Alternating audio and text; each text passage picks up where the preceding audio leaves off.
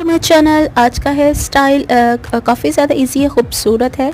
सबसे पहले आपने ये टूयर कर लेनी है पार्टीशन और उसके बाद आपने निकालनी है सेंटर मांग सेंटर मांग हमेशा आप नोज़ की सीट पे रखिएगा, और उसके बाद सेंटर मांग निकालिएगा। इसके बाद आप चाहे माथा पट्टी लगा लें, चाहे आप इसके अंदर जो है टिक्का लगा लें, ये आप पे डिपेंड करता है। तो डियर फ्रेंड्स अगर आपको मेरी वीडियो अच्छी लगे तो प्लीज़ लाइक कीजिएगा और इसके साथ साथ शेयर कीजिएगा वीडियो और मेरे चैनल को कीजिएगा सब्सक्राइब ये आप मैं स्टफिंग यूज़ कर रही हूँ, आप चाहें तो आप डोनट बन काट सकती हैं और उसको इस तरीके से थोड़ा सा सेंटर में डोनट बन आपने जो मीडियम साइज़ वाला है, वो यूज़ करना है।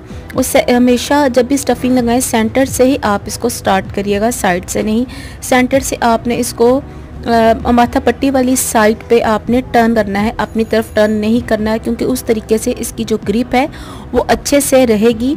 और उसके बाद आपने थोड़ा सा इसको साइड से ऊपर की तरफ़ पुश करना है और यू पिन के ज़रिए आपने इसको अच्छे से सेट कर लेना है। इस साइड पे आपने यू पिन लगानी है और इसको अच्छे से सेट कर लेना है। अगर आप नेचुरल बालों पे ट्राई करते हो तो आप बालों पे अच्छे से क्रिम्पिंग कर लीजिएगा। क्रिम्पिंग करेंगे तो ये स्टफिंग बहुत अच्छे से टिकेगी और इस स्टफिंग का सबसे बड़ा एडवांटेज ये है कि इसके अंदर आप जो है के अंदर आप जो है बॉब पिंस को अच्छे तरीके से सेट कर सकते हो। इसके साथ साथ आपने जब भी इसकी स्टफिंग को लगाना है या जब भी आप बैक कॉम करें तो सेंटर से हमेशा जो है वो स्टेप्स को लीजिएगा ताकि जो आपने स्पेशली अगर आपने माथा पट्टी या टिक्का सेट करना है ताकि उसकी जो स्टेप है वो अच्छे से छुप सके और आपको किसी किस्म की दिक्कत ना आए, वो सेंटर में जो एक अजीब सा गैप आ जाता है, वो बिल्कुल भी नहीं आएगा। तो डियर फ्रेंड्स जल्दी से कीजिए मेरे वीडियो को लाइक और इसके साथ साथ करें, मेरे चैनल को सब्सक्राइब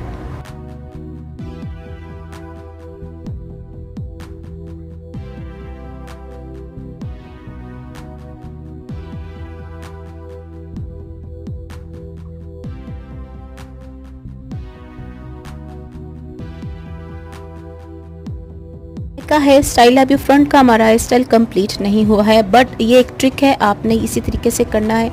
बैक पे आप पोनी टेल लगाएँ, बिल्कुल मिड में लगानी है आपने पोनी टेल और इसके अंदर आपने लगाना है डोनट बन मीडियम साइज़ का, और इसको आपने सेट करना है यू पिन के साथ। अगर आपके बाल बहुत ज़्यादा अगेन सिल्की हैं तो आप पहले डोनट बन के नीचे क्रॉस में बो पिन अच्छे से लगा लो, ताकि यू पिन जब आप इसके अंदर लगाएँ तो अच्छे से बैठ सकें।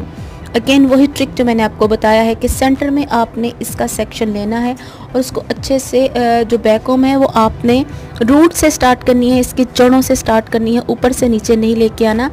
बिल्कुल रूट से स्टार्ट करना है, छोटा छोटा छोटा छोटा सा एक एक इंच आधे आधे इंच का आपने बैक बैकॉम करना है। बैक बैकॉम करते करते आपको ज़्यादा हाइट चाहिए, ज़्यादा वॉल्यूम चाहिए तो ज़्यादा ऊपर तक वॉल्यूम इसके ऊपर जो है वह बैकॉम कर लें। अगर आपको कम चाहिए तो आप कम कर लें। इससे बट मुझे क्योंकि हाइट ज़्यादा चाहिए तो मैं तकरीबन तीन इंच तक इसकी जो है वो करूँगी बैक कॉम और उसके बाद मैं करूँगी इसको अच्छे से सेट मेथड इसका तकरीबन यही रहेगा और इसके बाद हम करेंगे बैक की हेयर स्टाइलिंग। तो मेरे चैनल को फिर जल्दी से सब्सक्राइब करें और मेरी वीडियो को करें लाइक। और अगर आपको फिर भी कोई भी बात समझ में ना आए, आप कमेंट में पूछ सकते हो।